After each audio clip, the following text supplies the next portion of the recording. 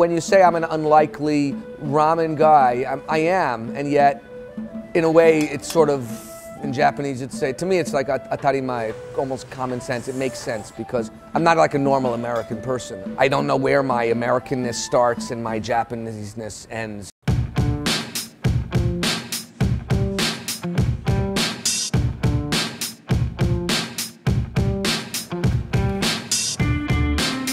I truly love Japan and just about everything about it, and I love food and cooking. And I somehow figured out how to combine both of them and create this really cool life in, in Japan. I'm a Japanophile turned chef, not a chef turned uh, Japanophile. I ended up with a ramen shop, but my fantasy was to create a normal life in Tokyo. I wanted to work, I wanted to interact with people, I didn't want to speak English, I wanted to speak Japanese. I got to do a lot of really interesting things within my adopted country and my adopted culture and language. And then I'm, and now I'm back in my hometown, New York City, and now I'm doing it here. I opened the, the Gotham market and people uh, like it and they like the ramen we have and now I think people are excited to see what, what I can do next and, uh, and I'm excited to show them. Um, I have to take this. Yeah. I'll go right back then. Hello. Ramen really does taste the best when all those flavors sort of come together. You get this big bowl of food. It's got a lot of noodles in the broth. The fat's all, all nice and liquidy, and the flavors are really sharp and, and bright. And as the temperature drops, all those flavors begin to dull.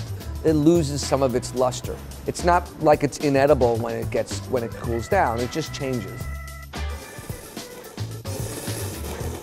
There's a lot of things that happen when you learn how to eat ramen a certain way. When you slurp, you learn how to inhale a, a, a whole bunch of noodles into your mouth. It cools down the broth and you end up with a mouthful of noodles with your lips closed and you're chewing and swallowing rather than kind of leaning over your bowl and biting at the noodles and they all kind of fall back into the bowl. Slurp, slurp, slurp! Noodles that have been cooked to the proper second. As soon as it goes into that hot bowl of soup, I always feel like there's this ticking of time that the noodles have left to live before they overcook and taste terrible. So there's this urgency to get that bowl to the customer and to get them to slurp up that bowl of ramen. It's sort of become our goal uh, at these shops in New York is to sort of at least get start a conversation about slurping. And for me, the best bowl of ramen are the ones that taste great, where I'm slurping and slurping, and then I look down and the bowl is empty. And I'm like, oh man, shit, I ate the whole thing already.